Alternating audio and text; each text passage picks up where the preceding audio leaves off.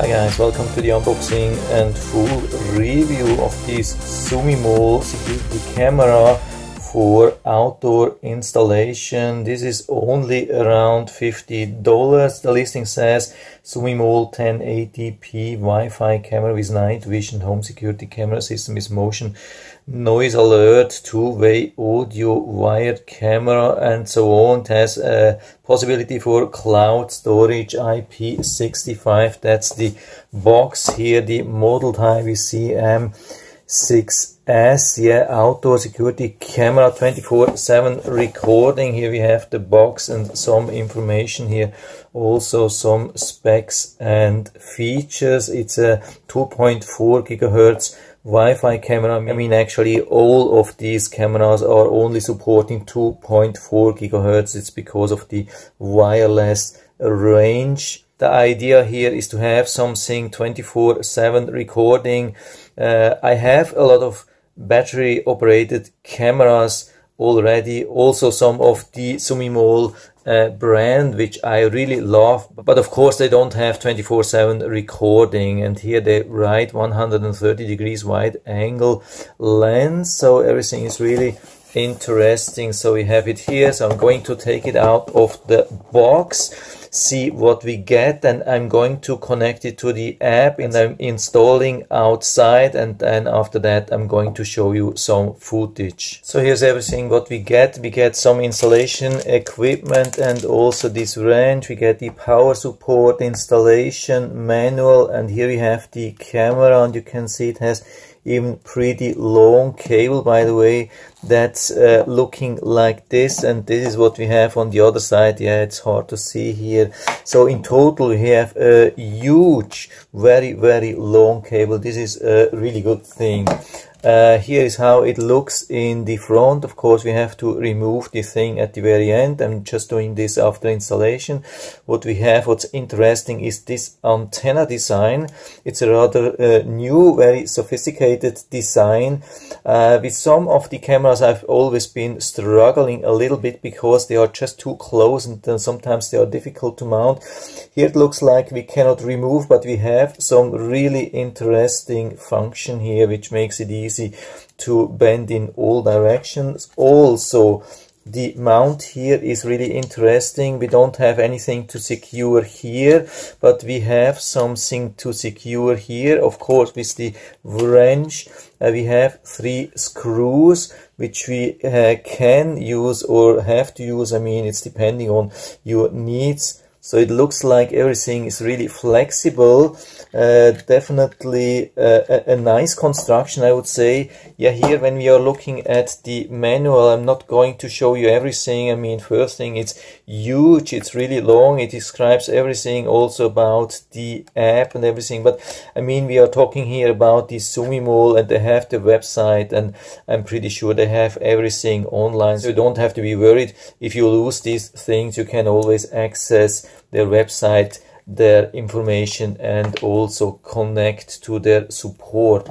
So uh, I'm going to power it on and then I'm going to uh, download the app and to connect and so we can see how easy or difficult it is. So here we have the QR codes that's important to download and install the app. Looks like it's available for Android and iOS. So the good thing is after scanning this, it brought me to the official Play Store app and not to the website uh, where you have to download something from the third party. Uh, you don't know if it's safe. So this thing is checked by Google and you can be sure that it's safe. Of course, it's now important to give all the authorizations, otherwise the app won't work correctly. And then we have to sign up or log in. So I'm actually ready with the app to connect, but before we connect, we first have to add a microSD card and we have to open this thing here, this lid. Yeah, it's a position which I don't like too much. It's a little bit difficult to access and of course it would be nice to have it protected underneath, but it is as it is. At least we have this nice flap here which you can just pull out and then we have to insert the micro SD card. It's probably not so easy here. The writing goes to the top, the pins go to the bottom, and just push it here inside. I mean, it works really good. I'm not complaining too much what's really good, yeah, again here, what's really, really important here that you only buy cameras where this cover here is attached to the camera. I have already bought cameras where this lid is not connected or this cover is not connected to the camera and then it's uh, highly prone to lose it and after that it's not waterproof anymore and you can basically dump your camera. So it's actually not a bad solution here. So now we are actually ready to connect. I'm going to power this in and then we connect the power cable of the camera here. Now it's on power and we hit the plus button here. I mean, the Zumimall, when I think to the other cameras, which I have already been installing, this is as easy as it gets. That's one of the big, big pluses of Zumimall cameras, that they are usually so easy to connect. So let's see how it is in this case. Yeah, it has already been talking to me. Please power on the device. I have done this already. Let's click on next. Okay, flash red. Yeah, okay. I mean, actually, uh, if it's not working, I will go and press the reset button. But I see in the first installation, the red thing is actually blinking. So I think we are good to go here without pressing the reset button. But if you have trouble, just use the reset button inside here. So I'm clicking on next. Select the Wi-Fi network you want to sync with. Oh. Please choose a 2.4G network, then enter your network password. Okay, I'm going to enter the Wi-Fi router password. So it's not a password from this device here, it's from your normal uh, router. So I have it entered here and click on next. Then we hit the OK button here. And okay. Next to show your QR yeah. Camera lens at a distance of 5 to 8 inches. Okay, very good advice here and we have to remove this protection here. We take the phone, of course we have to click on next again so it's showing the QR code. Oh, there's another protection here. Uh, I didn't remove everything, so everything has to be removed, otherwise it won't work and we are scanning here yeah that's about 20 centimeters I think it should be okay. I heard the notification. We click on here. Yeah let's try and wait and see. But actually I'm really positive that it has been working good. So I put this box here. Maybe we can see that here as soon as it's connected. Make sure that you're close to the router and have your uh, antenna positioned more or less. And we have the device and I don't know if you have to click or just done here. And I think we can already access the image here. Do you want to allow floating window? I don't know what that is. Anyway allow display over the app. Yeah let's give all the okays here. Yes, so here we have it. Already was really super easy, but we have some kind of echo. Yeah, the problem is, I mean, we have this uh, microphone here, it's picking up everything and broadcasting everything to my speaker here, so I have to turn this off here. Let's try this button here. Okay, yeah, that worked. Uh, maybe this is more to allow and record or I mean to uh, talk to somebody if you have installed this like at the entrance of your home and uh, yeah of course we have to give uh, authorization. When we uh, hold here we can talk here to the app and everything what you are talking is broadcasted here from this speaker underneath here. So you can talk to other people of course. You would have to uh, turn or on again the speaker of the phone. But uh, the quality at least from here yeah looks pretty good uh, maybe we can increase the size or we have to hold it sideways but at the moment it's looking really good there's not too much delay even though we are pretty far away from the router Yeah, that's looking good, uh, very stable, maybe something to read even. But I mean, these cameras are not built uh, to make close-ups. These cameras are more built like for long distance. And uh, so I'm going to install it now outside and I'm trying to record some things during the day and during the night. And then I'm going to show you everything and I'm going to finish then this review. So I've put the camera outside and now it has been there overnight almost for 24 hours. So this is how it looks. Of course, not professional installation. You can do it better, I'm pretty sure. But it's really good. It's safe. It's uh, secure. Everything has been working really good and it was really easy to attach there. I mean, I have only used one screw. You can use three of them and uh, at the end I had to secure everything when I had it in the right direction uh, pointed then uh, I had to secure it with this screw here. That's, that's the only one which you need to secure everything at the right angle at the very end. So it's very easy. So now let's go to the app and find out what it has been able to detect. So here we are at the front page. Let's click on the live view. What's really important here that we are using 1080p. I think the default at the beginning is 360p and then maybe you're wondering why it's not uh, doing a really good job. You think the quality is not good, but the quality is actually very good. Uh, you can even zoom in. I hope you can see that here. I mean, of course, yeah, after some time, the quality will be a little bit uh, compromised when you zoom in too much. But I would say for 1080p, it's very, very decent. You can move this thing around uh, left to right and do everything. By the way, uh, what I wanted to tell you is that this app here only works, of course, with uh, Android and iPhones and not on a PC or so. I mean, you can install uh, BlueStacks and then you can run this app on a PC. That's uh, that should be possible. I haven't tested that, but it, it, it should be possible.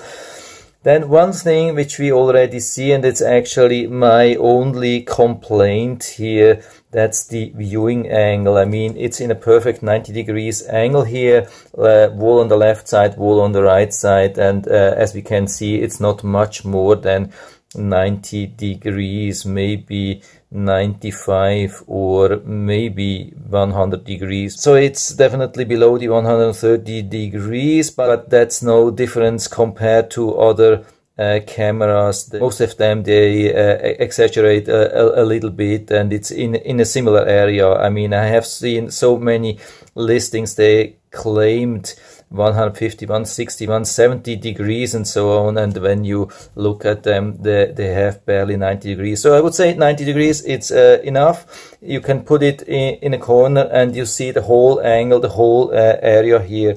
For me, definitely not a problem. Yeah, here again we have the live view. We could even limit a little bit down. I think that's uh, reducing a little bit. It's still 1080p. We have the history and everything what we are doing. You can really notice that everything is really fast. That's a really cool thing here one of the things you will notice when you move around. This is almost working like with a hard disk, uh, like if you have an NVR or so, but this is just from the micro SD card. You can move around. Uh, you can also go in the history. You can see the alerts here and you have the different motion detections and also this works really good. I mean, most of the things which have been captured during the night here, uh, these are like insects and so on. So I go a little bit back. You can see more during the night. Uh, I mean, by the way, regarding the night, that's really, really awesome. I hope I can uh, make this full size so you can see how good this is. In the corner it's about yeah somewhere between 10 and 15 yards. It's pretty far away and you can see how bright this is. This is extreme. This is almost like during the day. I mean it's absolutely pitch dark uh, in this area. I mean, there's another camera, uh, a little bit emitting some infrared light, but not much. I'll show you that this is much more. Most of the infrared light is coming from this camera and it's awesome. It looks like uh, almost like snow, but there's a lot. It's extreme how much infrared it's emitting. This helps a lot. So let's go back to the history, click a little bit on some things. Yeah, there was not much going on. Most of the things were just flying insects during the night, but you can see everything is really nicely visible. And you can see also the detections. I'm going to show you the settings later on, but you can see it has been recording 24-7, I mean all the time uh, but it has marked the areas where there was some movement with red and you can just go here and you will see something. I mean, here it's probably just some heavy shade and things moving around or insects or so. But I had also something during the night. I mean, I have been testing this. Yeah, this is just the current day, but you can switch the day easily so you can go back to the last day here go to the alerts and then we'll see what happens. I've been uh, in, in the back and you can see what I've been doing. I'm been an, using another camera to check how much infrared light is there and I have really noticed that there's a lot. You can see the movement detection. Yeah, it was a little bit delayed, maybe two seconds or so, but it's really, really still fast. It has been doing a good job, I would say. Uh, never missed me when I was walking by here. Yeah, that's the thing I wanted to show you on the left side. That's the Zumimall and on the right side there's an uh, expensive, actually an even more expensive camera and you can see uh, it is barely emitting some infrared on the left side. The Zumimall is emitting much more infrared light so helps a lot during the night. Yeah, by the way, this thing is using motion detection, real artificial intelligence to detect some motion detection and it's not only using PIR or so. You could technically use this camera also inside uh, through a window when you turn off the infrared light that would be possible. So let's go back a little bit and I can show you where it started.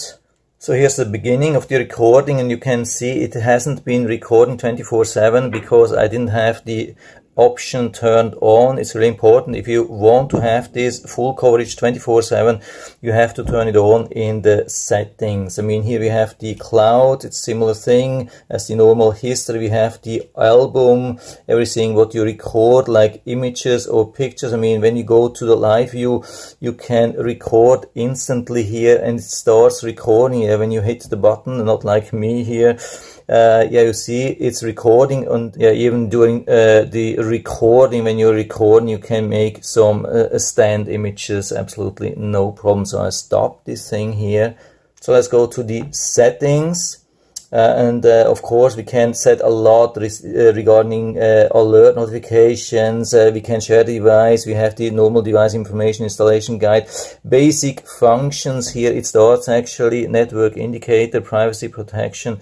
There's a lot of settings here. It is extreme. We can flip the screen. That's good. If you want to mount it on a ceiling, then the night vision, you want to have the infrared light on or off or automatic, which I had, worked really good. Then the alert settings, the motion detection, you can set it on low, medium or high or not at all. And also noise detection if you want to get some alerts or uh, alarm recordings uh, when there is some noise. This can also be helpful.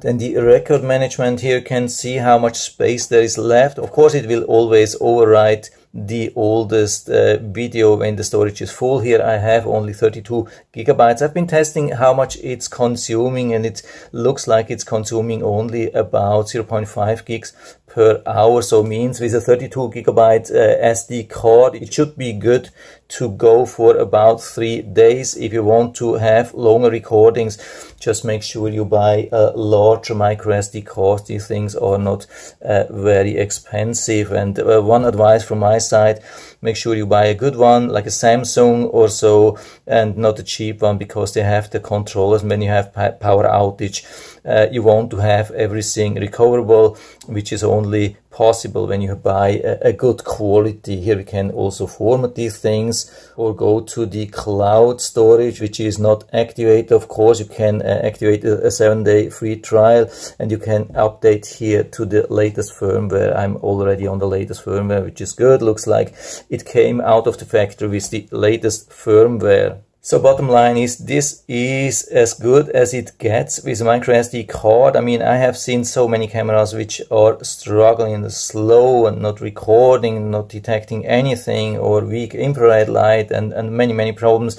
I think this is as good as it gets for this price and you can also see that it has 85% uh, still Wi-Fi connection, so I could mount it even further outside. But, but of course, uh, there, there's no power. If you need something, there are other Zumimall cameras, uh, battery operated cameras, but they don't have 24/7 recording. If you want to go with the best option, uh, cheapest one which is really good working which is covering 24-7 recording without uh, buying an NVR or so I think this is the thing to go here and I'll put down the link to the Amazon listing down into the description so you can check it out order drive from there if you like it and I hope I've been able to help you a little bit with this video. If you have any questions or comments, just write to the comment section below and I'm always happy to talk about these things. And if you like the video, give me a thumbs up, subscribe my channel. Thanks for watching and see you next time.